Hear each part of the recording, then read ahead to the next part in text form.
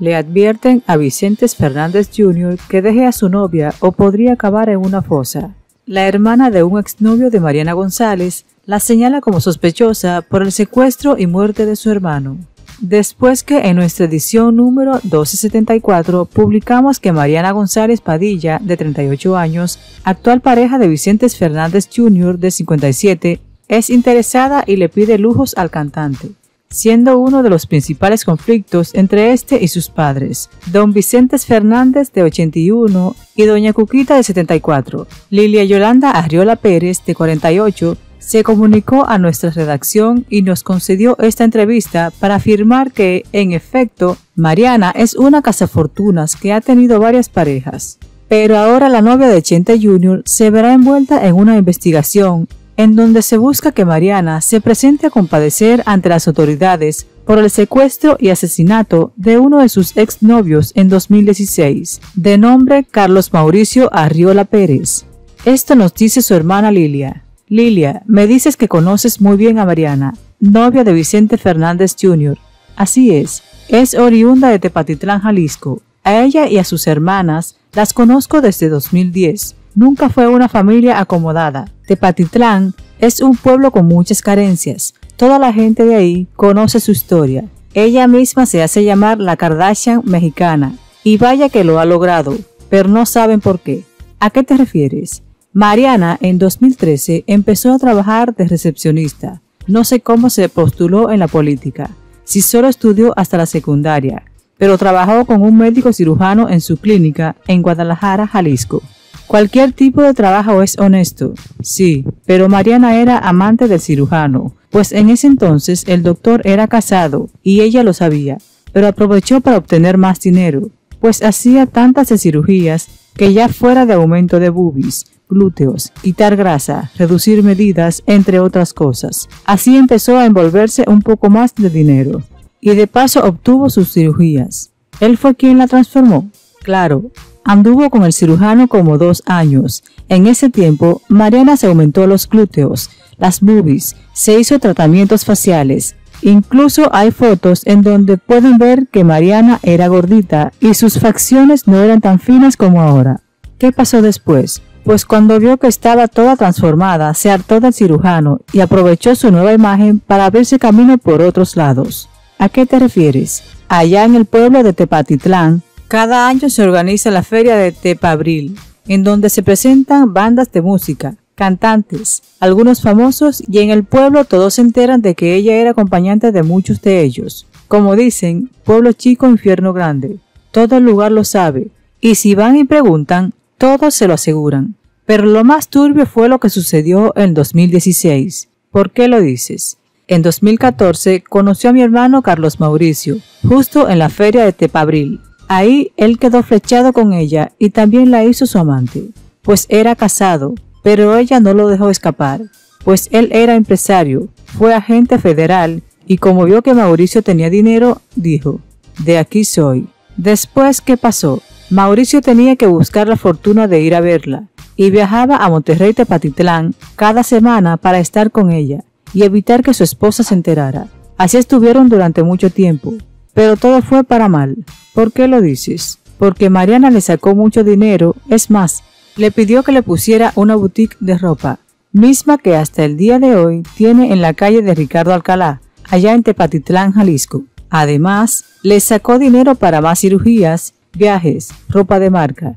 Mi hermano le regaló un auto Mercedes-Benz y la llenaba de lujos. ¿De verdad? Sí, Mauricio se volvió la mina de oro de Mariana. Por eso ella quería tenerlo con él y para él. Incluso comenzó a decirle que dejara a su mujer, pero él no lo iba a hacer y ese fue el problema. Porque el 15 de octubre del 2016, Mauricio cumpliría 15 años de casado y Mariana se enteró de que él se iría de viaje con su esposa. Obviamente se enojó mucho y se pelearon. Él trató de contentarla, pero extrañamente sucedió la tragedia. ¿A qué tragedia te refieres? Justo dos días antes de irse de viaje con su esposa, el 13 de octubre del 2016, a las 7 de la mañana, afuera de su domicilio, Mauricio fue secuestrado. Llegaron dos camionetas y se lo llevaron. La familia se dio cuenta porque en la casa de Mauricio había cámaras de seguridad que revisaron cuando él no aparecía. ¿Qué pasó después? A los nueve días de cautiverio, pagamos de rescate casi 10 mil millones de dólares, más de 190 millones de pesos, pero no se logró nada. ¿Por qué? Lamentablemente, el 26 de octubre, mi hermano fue encontrado sin vida en Allende, Nuevo León, donde fue ejecutado. Había sido torturado y fue estrangulado. Muchos diarios de Monterrey retomaron el crimen en sus páginas principales y también se abrió una carpeta de investigación por parte de las autoridades. Yo fui quien tuvo que viajar para reconocer su cadáver. ¡Qué fuerte! Sí, una lamentable pérdida para mí y también para su esposa, porque ella nunca se enteró de la relación que Mauricio tenía con Mariana. ¿Mariana se enteró? Por supuesto que Mariana lo supo. Ella estaba en comunicación todo el tiempo conmigo. Aunque después de todo esto dejó de llamarme. Eso es lo más extraño. ¿Por qué? Porque empecé a llamarle para hablar de lo sucedido y Mariana ya no me respondía. Pasaron como ocho días hasta que me contestó, pero fue de lo más extraño, pues me dijo, ¿Quién eres? No te conozco. ¿Qué se te ofrece? Y me colgó diciendo que no la volviera a molestar, e incluso me bloqueó de su celular. ¿Es en serio? Sí, pero después vino lo peor. ¿Qué pasó? Como al mes de la muerte de Mauricio, Mariana comenzó a construir lo que hoy es su residencia y la de sus hermanas. Empezó a tener mucho dinero, lujos, acondicionó su boutique y peor aún, se fue a vivir como dos años a Dubái, que es carísimo y sin trabajo. ¿Cómo va a explicar todo eso a las autoridades? ¿Qué quieres decir? Mariana se ha dado la gran vida, pero hay una carpeta de investigación, porque un homicidio se persigue de oficio y no se cierra, en donde podrían citar a Mariana para que explique por qué dejó de hablarme, y con ese dinero salió del país, pues una boutique no te dará esos lujos. Por eso tengo la sospecha de que ella tuvo que ver en el secuestro y la muerte de mi hermano. ¿Por qué no lo denunciaron? Porque en ese momento era más mi dolor, no sospechaba nada de esto. ¿Buscarán a Mariana? No se sabe si tuvo que ver en todo esto, pero Mariana tendrá que acudir ante el llamado de la autoridad para rendir su declaración, además de que sus hermanas también tienen lo suyo. ¿Qué tienen que ver sus hermanas? porque su hermana Angélica tiene un esposo que está en Australia, en la cárcel, por nexos con amigos de la mafia desde el 2010, y ella lo abandonó a su suerte. Solo le sacó la lana. Su mamá Liliana Padilla se mete con chavitos de lana, a cambio de placer sexual. Así opera toda su familia. ¿Piensas que ella tuvo que ver en la muerte de tu hermano? Reaccioné porque hay muchos cabos sueltos en el caso de mi hermano. Decidí indagar de más y hay algo que me dice que ella tiene que ver con el secuestro y muerte de mi hermano. Lo que sí supe es que la última persona con la que él tuvo comunicación antes del secuestro fue con ella. Cinco minutos antes habló con Mariana. Me contabas que eran 10 millones de dólares lo que pagaron por su rescate. ¿Por qué esa cantidad? Esa cantidad era lo que valía toda la empresa. Los trailers que tenía, que se manejaban a través de fletes de Centro, Sudamérica, Estados Unidos y el costo de su empresa, más lo que tuvo que vender, bienes inmuebles y lo que tuvimos que poner para juntar esa cantidad. Mariana sabía la cantidad exacta que tu hermano manejaba. Sí, claro. Ahora ya no me importa si la viuda de mi hermano se entera de que él la engañó. Hoy quiero hacerle justicia a Mauricio. Mariana sabía lo que tenía mi hermano de su patrimonio, porque él le contó. Él la quería hacer partícipe de su empresa para que ella dejara de trabajar como recepcionista y evitar que vendiera cirugías. ¿Ya tienes apoderados legales? Sí, consultando el delito de homicidio que no prescribe, yo le prometí a mi hermano en su ataúd que llegaría hasta las últimas consecuencias y daré con el responsable. Me dices que hace poco buscaste a Mariana a través de Instagram por mensaje directo. Sí, la encaré y le dije que por qué no me había respondido y hasta la reté diciéndole que si tenía el valor que me contestara. No sabía que ella era pareja de Vicentes Fernández Jr. Me enteré hace unas semanas durante las elecciones porque ella sería candidata. Por eso supe de nuevo de ella. La busqué para saber qué está pasando. ¿Cómo sentiste a Mariana en ese contacto?